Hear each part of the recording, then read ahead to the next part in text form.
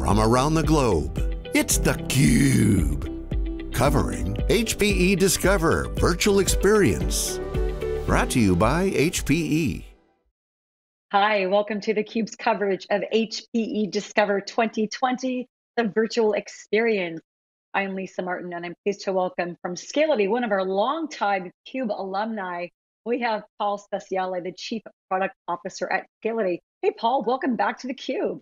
Hi, Lisa. It's been a long time, and it's just wonderful to be back. Thank you. This is our new virtual cube set up here where everybody is very socially distant, um, but socially connected.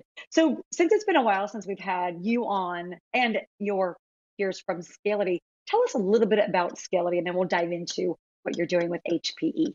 Okay, absolutely. Let me give you kind of a top-down recap of uh, where we're at. So, uh, interestingly, we're now a 10-year-old company. We actually celebrated our anniversary last year. Um, we still have our flagship product, the Ring, which we launched originally in 2010. Uh, that is distributed file and object storage software. Uh, but about three years ago, we added a second product called Zenko, which is for multi-cloud data management. Uh, we do continue to invest in the Ring a lot, both on the file side and the object side. Uh, the current release now is Ring 8.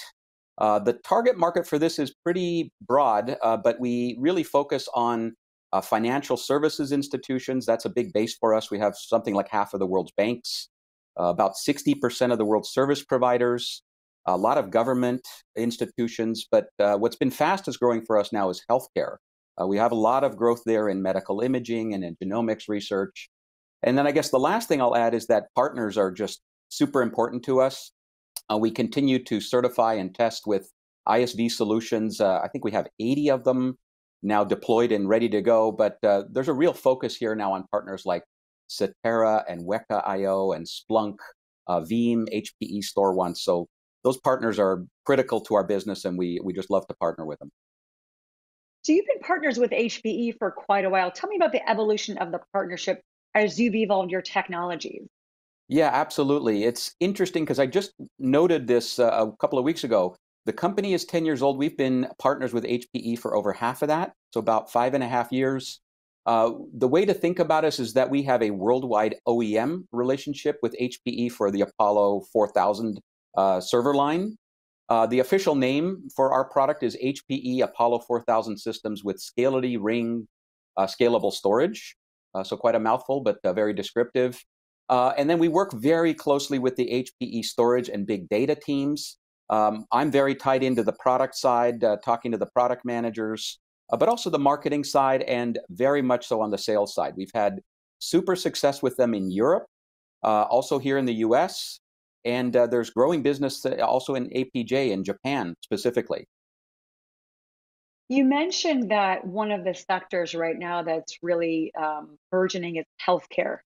And given the fact that we are three months into a global pandemic, anything that's interesting that you want to share in terms of how Scality is helping some of your healthcare customers rapidly pivot in this very unprecedented time?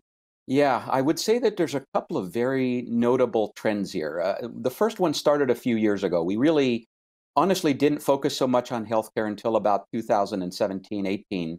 Uh, but since that time, we now have something like uh, 40 hospital hospital systems globally using our product, and notably on HPE servers. Uh, and that's to retain lo- uh, medical images for long-term retention uh, these th- are things like digital diagnostic images, MRIs, CAT scans, CT scans. Uh, these hospitals are mandated to keep them for long term, right? Sometimes for five years, 10 years, or even patient lifetime. I would say the newer thing that we're seeing now, just in the last year or so, is genomics research.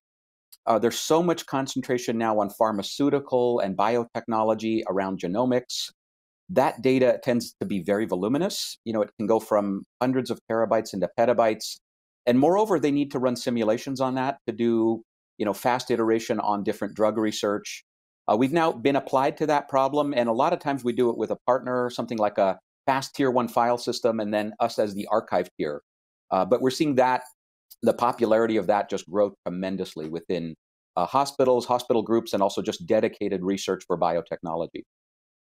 The vol you talked about volumes there, and the, the volumes are, are growing and growing each year, as is retention periods, depending on the type of data, the type of of uh, imagery, for example. But from a use case perspective, yes. what is it that you're helping the, your say healthcare customers achieve? Is it is it backup targets? Is it disaster recovery? Is yeah. it speed of access? All the above. Yeah, so where we focus in healthcare is really on the unstructured data. This is all the file content that they deal with. You know, in a hospital, think about all the different medical image studies that they have, things like digital files for CAT scans and MRIs. These are becoming huge files. You know, one uh, multi slice X ray or digital scan, for example, can be gigabytes in size in, per file, and that's per patient. Uh, now think about the number of patients and the retention of all of that it's a perfect use case for what we do, which is capacity optimized storage for long term retention. Uh, but we can also be uh, used for other things. For example, backups of the electronic patient records. Those are typically stored in databases, but they need to be backed up. Uh, what we found is that we're an ideal long term backup target. So the way hospitals look at us is that they can consolidate multiple use cases onto our ring system on HPE. Uh, they can grow it over time. They can just keep adding servers. Um, and typically, what they do is they start with a single use case, what they think of as a thing, single modality, perhaps in imaging, and then they grow over time to encompass more and more, and eventually think about a comprehensive image management system within a hospital. Um, but those are popular today. Uh, hospitals are also starting to look at other use cases. Obviously, we mentioned genomics, but uh, hybrid cloud is coming at them as well. Talk to me about that as we see growing volumes of data, different types of modalities, lots of urgent need to you said back up the data. So data protection is critical. But as as healthcare organizations move to multi-cloud how can scality and hpe help facilitate that migration? Yeah um, so what we've noticed is you know there's both a feeling that they're fast and they're slow to embrace the public clouds. But one of the things that's obvious is that from a saas perspective uh, software as a service they've really embraced it most of the big emr systems the electronic medical records are already saas based so they are there. And in fact, they're probably already multi cloud. Uh, but on the data management side, that's where we focus. And we hear a lot of use cases that would involve taking older data from on prem and perhaps archiving it long term in a HIPAA compliant cloud in the US, for example, uh, for long term retention. Uh, but there are other things. For example, they may want to push some data that they've generated on prem to a public cloud like Amazon or Azure and do some kind of computing against it uh, perhaps an analytics service, uh, some kind of image recognition or uh, you know image uh, pattern detection.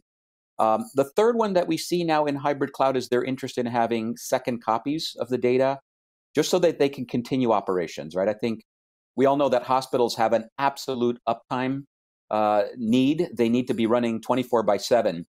Uh, one of the things that's starting to happen is rather than a second physical data center, uh, they establish a second site in a public cloud, uh, and then they stage their applications, and we can help uh, with HPE move the data from on-prem uh, to the public cloud to have this sort of cloud disaster recovery solution. So, Cloud DR, interesting topic. Do you see there that in healthcare in particular, that hospitals and healthcare organizations are getting less concerned about cloud from a security perspective and more open to it as an enabler of scale? I think what they've seen is that the cloud vendors have really matured in terms of providing all of the hardening that you want in terms of data privacy and data security. You know, 10 years ago, if you looked at the cloud, you would have been extremely nervous about putting your data up there. But now, all of the right principles are there in terms of multi tenancy, uh, secure authentication based on very you know in, uh, strong keys, uh, encryption of the data. Uh, one of the first healthcare customers we worked with was completely ready to do this, but then of course they said the images that we store in the cloud must be encrypted. Uh, so we were able to work in collaboration with them to develop encryption and actually use their own key management service for encrypting those images so that our system or the HP servers don't store the keys uh, for encryption. So I would say yes, it's a combination of the clouds becoming super mature. Uh, some of them are now certified and compliant for this use case uh, and the customers are just sort of they've passed the first step of trying it, uh, and they're really to sort of go into these use cases a little bit more broadly. And so, with with that maturity of the technologies and the more of the willingness on the part of the customer to to try it, tell me how do HPE and Scality go to market together? Yeah, so what we do is we've really focused on specific market verticals, uh, healthcare being one of them, but there are others. Financial services is where we've had other success with them. Uh, the way we do it is that we first start by building very specific swim lanes uh, in HPE parlance. And that helps aim the sales force on where we can provide a great solution, uh, not only with Ring, but perhaps with complementary software, like I mentioned, HPE uh, StoreOnce for um, data protection backup, uh, they have other partner solutions that we just love to work with. Uh, vendors like Weka.io has a wonderful fast file system that is now useful in biotech. Um, and they use a system like the Ring for storing the uh, data from their file system and the snapshots uh, in that. Uh, but the way it's been organized is really by vertical and to go and have specialized kind of teams that understand how to sell that message, we jointly sell with them. So their teams and our teams go to uh, calls together. Today it's obviously been very virtual, uh, but we've usually collaborated very extensively in the field, um, working kind of air cover at the marketing level. And now one of the newer things with uh, obviously the new way of working is lots of vis- uh, virtual events. We're not only doing a Discover virtual experience, but we started doing more and more webinars, especially with HPE uh, and these other joint partners. I'm curious in this new virtual era where everything, like you said, this is how we're communicating now. And thankfully, we have the technology. A couple questions on that related to sales and engagement. One, what are some of the things that the sales teams, maybe the joint sales teams, are hearing now from customers that might be changing requirements given the COVID situation? First question.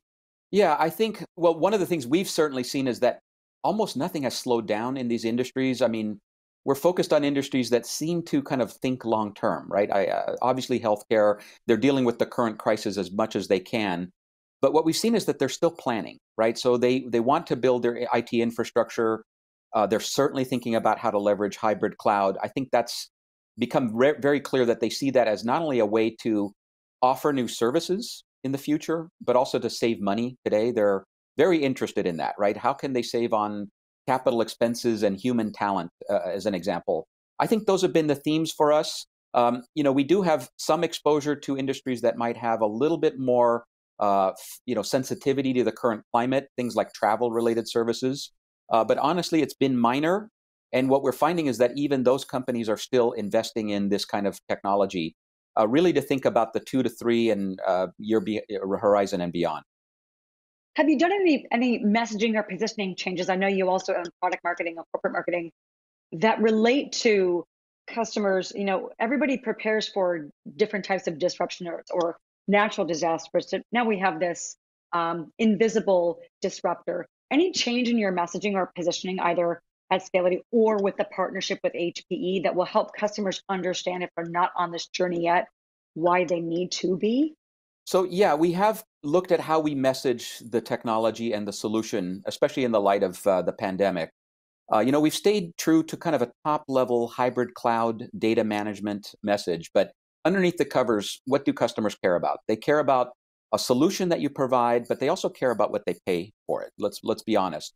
Uh, one of the things we've done very historically is to have a very simplified pricing model uh, it's based on usable protected capacity. So the user says, I have a petabyte of data. That's the license fee. It's not based on how much disk they have or how many copies they want to create or how many sites they want to spread it across. So one of the things we, we want to do is make that a little bit more clear. Uh, so that's come out a bit more in our messaging in, in recent months. Uh, the second is that what we feel is that customers really want to know us as a company.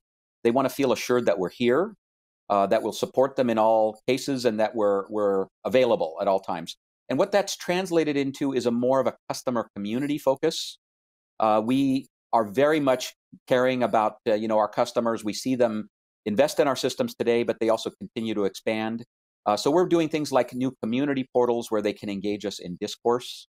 They can ask questions live. We're online. Uh, we have a lot of tech tips and knowledge uh, available for them. Uh, so I would say that those are the two uh, changes that we've put in our messaging, both on pricing and on uh, community uh, involvement.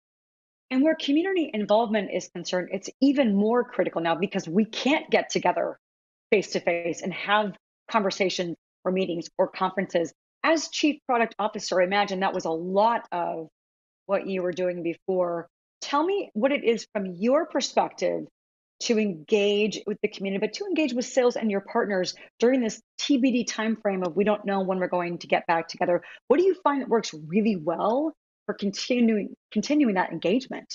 Yeah, I think the key word for me has just been transparency. Uh, you know, customers have always wanted to know really what's what's going on behind the scenes. How does the tech work, right? What's the architecture? And I think now what we're seeing is there's sort of a ramp up on that. Uh, for example, what's very important for community is for people to know what's coming, right? They want to know the roadmaps.